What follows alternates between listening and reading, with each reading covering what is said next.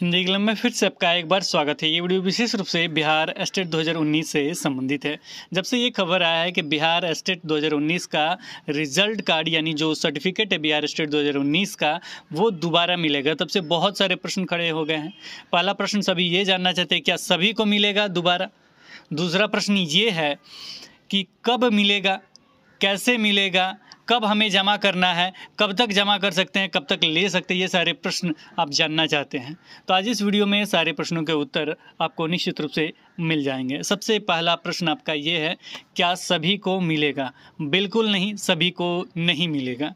किसको मिलेगा? तो जिसके क्यूआर कोड में प्रॉब्लम है।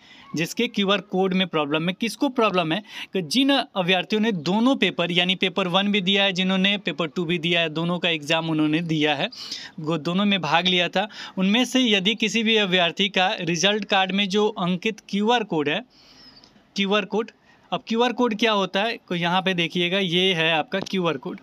तो जब इसको स्कैन करते हैं स्कैन कैसे करेंगे? तो देखिए पेटीएम वगैरह से भी कर सकते हैं, लेकिन हम पेटीएम वगैरह का ज़िक्र इसलिए नहीं करते हैं कि कुछ और स्कैन हो जाएगा पेमेंट वगैरह हो जाएगा तो आप जानते हैं, हम ही को कोसिएगा। इसलिए हम कहते हैं कि एक अप्लीकेशन आपको डिस्क्रिप्शन बॉक्स में दे दे रहे हैं लिंक वहाँ से क्लिक करके इंस्टॉल कर लीजिएगा। फिर ये जो आपका सर्टिफिकेट है, उसको क्या कीजिएगा? प्रिंट आउट रहेगा ही जो मिला हुआ है, वो नीचे रख लीजिएगा और जो ऐप है उसको खोलिएगा। खोलने के बाद वो क्या होता है, कैमरा ऑन हो जाता है, उसे स्कैन होता है। स्कैन करने के बाद डिटेल्स आपके शो होते हैं। तो ये सारे डिटेल्स उसमें आएँगे। अगर ये सही है, पेपर वन वगैरह सारा चीज़ सही कर रहा है, सही दिखा रहा है तो कोई दिक्कत नहीं है। पेपर वन का भी चेक कर लीजिएगा, पेपर टू का भी चेक कर लीजिएगा। ये किन का दिक्कत है कि जिन्होंने पेपर वन और पेपर टू दोनों का एग्ज़ाम दिया था, उन्हीं का कुछ अभ्यर्थियों का दिक्कत है, यानी प्रॉब्लम है, गलत इन्फॉर्मेशन दे रहा है। वो स्कैन कर रहे हैं तो पेपर वन का स्कैन कर रहे हैं तो पेपर टू शो हो रहा है। किसी किसी अभ्यर्थी का पेपर टू शो स्कैन कर रहे हैं का पेपर वन शो हो रहा है। तो ये जिनका दिक्कत है, उन्हें कब से मिलेगा? प्रश्न मिल, बनता है कि किसको मिलेगा? तो उन्हीं को मिलेगा जिनका क्यूआर कोड स्कैन करने पर गड़बड़ दिखा रहा है। तो उन्हें मिलेगा तो कब से मिलेगा, कहाँ मिलेगा, और ये भी जानना चाहते हैं कि कब हमें जमा भी करना है, क्योंकि जमा करने का चर्चा है। बहुत बार यही पूछा गया प्रश्न है कि कब जमा करना है। देखिए, जो बातचीत है उसके अनुसार हम आपको बता दें कि बिहार बोर्ड के तरफ़ से आज कितना तारीख हो गया? आज दस तारीख हो गया। ग्यारह तारीख से भेजना शुरू होगा। ग्यारह तारीख, यानी कल से जितना ज़िला है, सभी डी ऑफ़िस में भेजना शुरू हो जाएगा और बारह इन्होंने डेट दिया है। तो हो सकता है बारह आपका सैटरडे पड़ रहा है। संडे वाला भी क्वेश्चन है, इसमें हल हो जाएगा आपको, चिंता मत कीजिए। तो तो ग्यारह तारीख से प्रत्येक डी ऑफ़िस में भेजना शुरू हो जाएगा। तो हो सकता है कि ग्यारह को शाम तक वो पहुँच जाए। तो ग्यारह को शाम तक अगर पहुँच जाता है तो बारह तारीख को निश्चित रूप से आपके ज़िले में वितरित होना शुरू हो जाएगा। अब जमा कब करना है? तो देखिए, बारह तारीख को सर्टिफिकेट अगर आपको मिलना स्टार्ट हो रहा है जिस ज़िले में तो उस ज़िले में उसी दिन जाइएगा, एक दीजिएगा, दूसरा लीजिएगा। क्या कीजिएगा, एक सर्टिफिकेट दीजिएगा, दूसरा ले लीजिएगा। यानी जिसका क्यूआर कोड गलत दिख शो कर रहा है वो जमा कीजिए और जो सही वाला है, वो वापस ले लीजिए। तो समझ में आ गया कि कब आपको जाना है, कब मिलेगा। अब यहाँ पे कुछ अभ्यर्थी का प्रश्न है, सर, बारह तारीख को अगर हम नहीं जा पाए तो? कोई बात नहीं, हो सकता आपके ज़िले में बारह तारीख को पहुँचे भी नहीं तो तेरह को संडे को तेरह को मिलेगा भी नहीं तो चौदह को आराम से आप जाइए।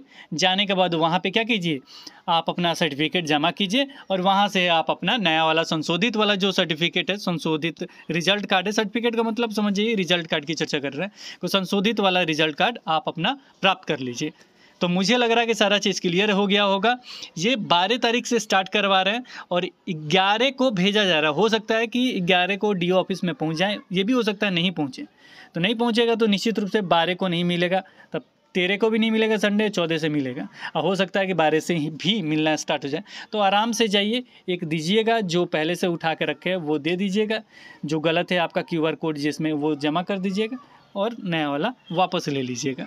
मुझे नहीं लगता इसके अतिरिक्त तो और कोई प्रश्न होगा आपका। इसके अतिरिक्त आपका जो भी, जैसे नाम में गलत है, या कैटेगरी में गलत है, अन्य विभिन्न तरह का तो कोई इसके रिगार्डिंग हम कुछ नहीं कर सकते, ना ही इसके रिगार्डिंग बातचीत कर सकते। क्योंकि हिंदी क्लब पे अगर आप शुरू से बने होंगे तो सुधार के लिए भी हमने बहुत बार बताया आपको। और बार बार आवाज़ पूरा क्लियर करके समझाते थे हम। कि इसको सुधार कर लीजिए बाद में दिक्कत होगा। यहाँ तक हम समझाते थे कि एडमिट कार्ड ज़रूर प्रिंट करके रख लीजिए लेकिन आप लोगों को तो मिलता नहीं है। ना कीजिएगा आप लोग काम ना देखिएगा नहीं देखिएगा तो वही भुगतिए। अब इसके बाद यहाँ पे आ, मुझे लग रहा है कि जो भी चीज़ें था सर्टिफिकेट से संबंधित वो सर्टिफिकेट वाला मामला आपका समाप्त हो गया। क्लियर हो गया सर्टिफिकेट अब आपको मिल रहा है। अब यहाँ बहाली की चर्चा होगी। बाबू एक चीज़ क्लियर समझिए सभी से रिक्वेस्ट है हाथ जोड़ के। मतलब क्या कुछ करवाइएगा, आप ही जानते हैं कि प्लीज़ नोटिफिकेशन निकालने के लिए आप लोग एकजुट होकर कार्य कीजिए। नोटिफिकेशन निकल जाएगा, मामला कोर्ट में है। अब बताइए, कोई भी ऐसा काम है ना एस डी वाला मामला कहाँ गया था को कोर्ट में गया था? कितनों भगदड़ हुआ कोर्ट वाला मामला दिया, उसके बाद ही आपका सारा चीज़ क्लियर हुआ था। ये पता है ना आपको? उसी पे गवर्नमेंट काम करती है तो नोटिफिकेशन निकालिए, निश्चित रूप से जो ना होगा, वो होगा। बिना काम का बेवजह हम ये नहीं कहते आप लोग मत कीजिए, करते रहिए, लेकिन नोटिफिकेशन के लिए भी कार्य करते रहिए।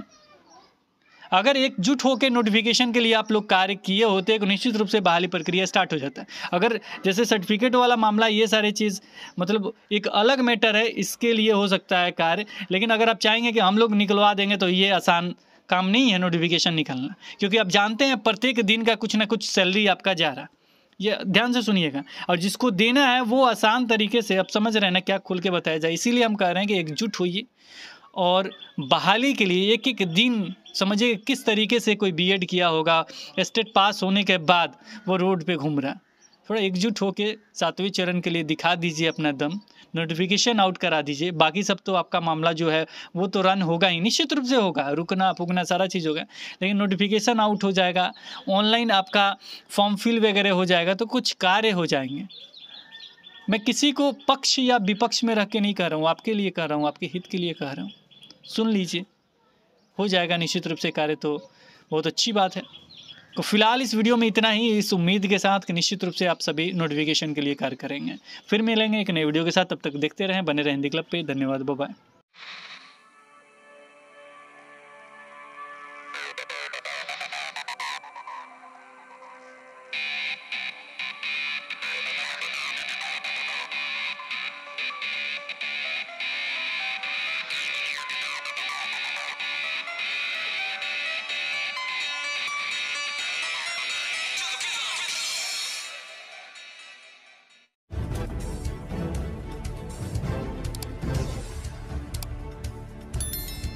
सब्सक्राइब कीजिए हिंदी क्लब को। दबाइए इस बेल आइकॉन को ताकि हमारा वीडियो आपको मिले सबसे पहले।